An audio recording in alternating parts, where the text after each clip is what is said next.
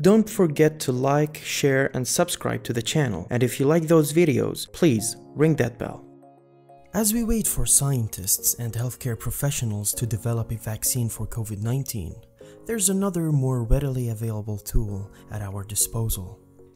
Social distancing, defined as measures taken to reduce physical contact, is the first line of defense for containing an infectious disease like COVID-19. That's because these infections spread when people cough, sneeze, or touch surfaces on which the virus resides. Hello and welcome to another episode of Endless Info.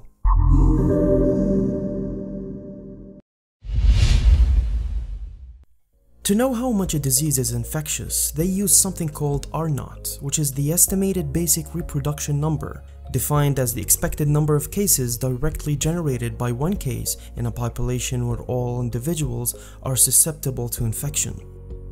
The R naught of COVID-19 is expected to be 2.5, a figure supported by recent research. This means that on average, an infected individual will spread the disease to 2.5 other people. Next, they assumed that an infected individual will unknowingly spread COVID-19 over the median 5-day incubation period. After this period, the individual will begin to develop symptoms, immediately self-quarantine and no longer pose a threat. Finally, they assumed the direct linear correlation between social interactions and R naught. This means that when an infected person reduces their physical contact with others by 50%, they also spread the disease by an amount 50% less.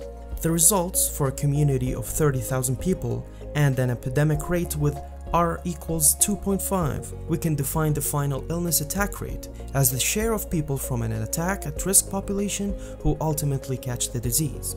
Results showed that when no action was taken, 65% of population contracted the disease. However, if a combination of all four distancing measures were implemented instead, the attack rates were 45%, 21%, and 7%. What's clear is that social distancing was significantly more effective. When implemented with minimal delay, the final illness attack rate rose quickest beyond the third week. With the global number of COVID-19 cases still rising, many governments have issued quarantine orders and travel bans. The math supported these decisions, reducing our physical contact with others even when we aren't experiencing any symptoms is crucial. Studies proves that taking action sooner rather than later can go a long way in reducing the spread of the infection. The key takeaway from all of this is, social distancing is a powerful disease control tool, but only if we all participate. Stay safe and stay home. We are all in this together. Thank you for watching. I'll catch you in the next one.